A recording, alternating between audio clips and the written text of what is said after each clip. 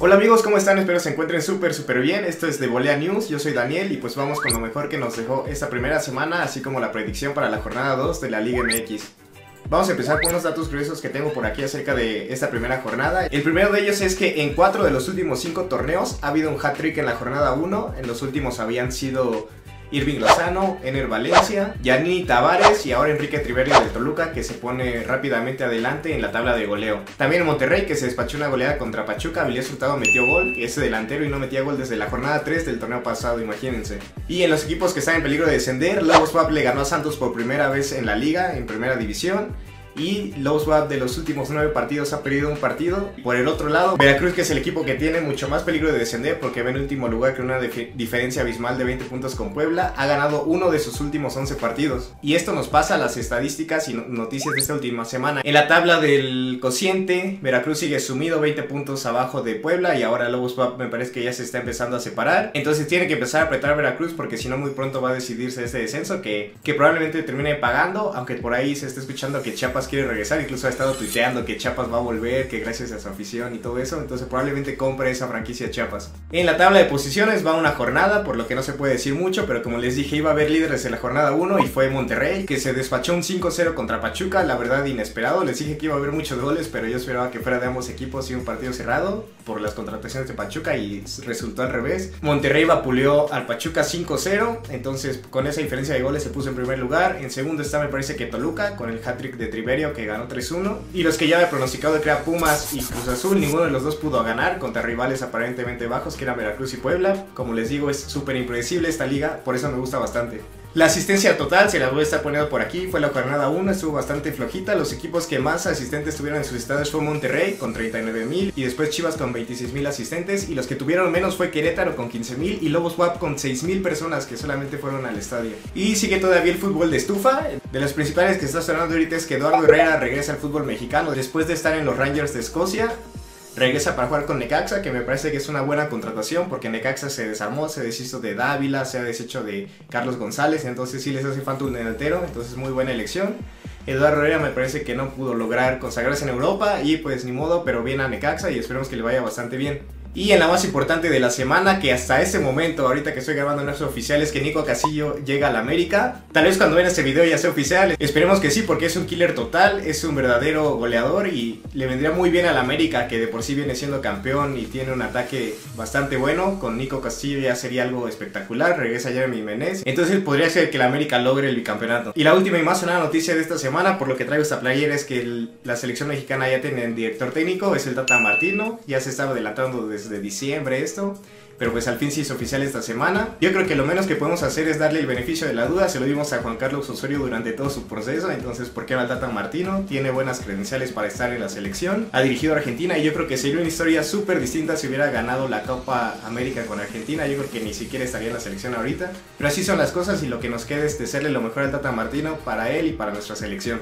Y esas fueron las estadísticas y noticias más importantes de esta semana. Antes de pasar con la predicción de la jornada 2, les recuerdo que me ayudaría mucho si se suscriben y le dan like. También activando la campanita para que les llegue una notificación cada que suba un nuevo video. Ahora sí vamos a empezar con la predicción de esta jornada 2. Ya tienen que empezar a jugar mejor los equipos. Debut el América, que es lo más importante de la jornada. Para esta predicción les voy a ir poniendo aquí quién es el favorito en las apuestas de cada partido. Y yo les voy a decir yo por quién me voy a inclinar. Y pues esta va a quedar de la siguiente manera. La jornada empieza el viernes 11 de enero. Veracruz recibiendo a Lobos WAP. Este partido va a ser transmitido por TV Azteca en el viernes botanero. Y es un partido súper implicado en el drama del descenso. Aquí lo interesante es que las apuestas está arriba Veracruz. Y yo la verdad lo veo bastante difícil porque Veracruz anda muy mal y como les dije, Lobos WAP lleva nueve partidos sin perder. Yo creo que Lobos WAP va a ganar el partido, pero esperaría que Veracruz ya reaccione porque si no me parece que es de sus últimas oportunidades para meterse de lleno en la ilusión por lo menos de salvarse. El segundo partido del viernes es Atlas recibiendo al América que debuta en este torneo a las 9 de la noche, de nuevo por TV Azteca. Y aquí, a pesar de que Atlas ganó la semana pasada, espero que el América regrese con todo y logre ganarle. Y ese es mi pronóstico. Igual en las apuestas, América es favorito, aunque no ha jugado este torneo. Ya pasando al sábado, el primer partido va a ser Monterrey contra León. Este partido va a ser a las 5 de la tarde y va a ser transmitido por Fox Sports. Y evidentemente, por la semana pasada, el favorito para este partido es Monterrey. Y me parece que va a cumplir con esa predicción y va a ganarle fácilmente al León, que dejó mucho que desear en la primera jornada. También el sábado, Cruz Azul regresa al Estadio Azteca después de la final y va a enfrentar a Chivas. Yo creo que ese partido más llamativo de la jornada. Esto va a ser jugado a las 7 de la noche y la transmisión va por Televisa. Y ese partido está súper interesante ya que Cruz Azul no ganó y las Chivas sí ganaron y están muy renovadas, jugaron bastante bien. Entonces yo creo que esto va a ser un empate. Suele pasar mucho en este tipo de clásicos, entonces me parece que va a ser así, a pesar de que en las apuestas el favorito es Cruz Azul.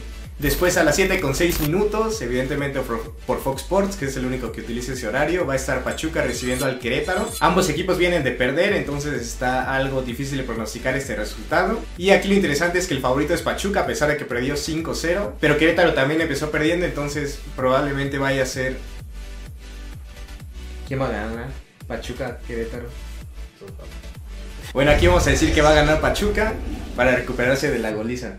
También el sábado los Rayos del Necaxa debutan en esta liga ya que jugaban contra América en la primera jornada pero se suspendió y van contra Pumas a las 9 de la noche y este partido va a ser transmitido por Televisa. Aquí también está interesante que el favorito sea Necaxa a pesar de que no ha jugado, pero pues los Pumas quedaron mucha de ver al empatar 0-0 contra Veracruz de locales. Yo aquí me lo voy a jugar por Pumas ya que al menos ya jugaron en este torneo y me parece que lo de Veracruz solamente fue una mala tarde así como la semifinal contra el América y se van a llevar el partido contra el Necaxa. Y el último partido de sábado son los Cholos recibiendo a los Tigres esto a las 9 de la noche por Fox Sports. Me parece que Cholos también está estrenando transmisión con Fox Sports. Y aquí el favorito es Tigres, pero creo que de todos los partidos es el más cerrado en cuanto a las apuestas. Y ese partido yo creo que se lo va a llevar Tigres, que viene de ganar la semana pasada. Pasando al domingo, el Toluca debuta como local contra Puebla a las 12 del día como es normalmente. La transmisión va a ser por Televisa. Aquí el favorito es Toluca y yo creo que sí va a terminar ganando y viene con Triverio que metió 3 goles y está de local, entonces tiene muchas ventajas y tiene que llevarse el resultado. Y el último partido del domingo es Santos recibiendo a Morelia a las 6 de la tarde. Ese partido va a ser transmitido por TV Azteca para cerrar la jornada. Aquí el favorito es Santos en las apuestas.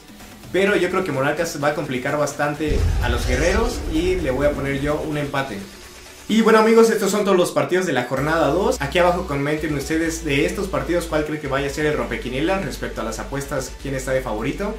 Y bueno, eso ha sido todo el video, espero les haya gustado. Ya saben, no olviden seguirme en mis redes sociales, se, las voy a estar poniendo por aquí.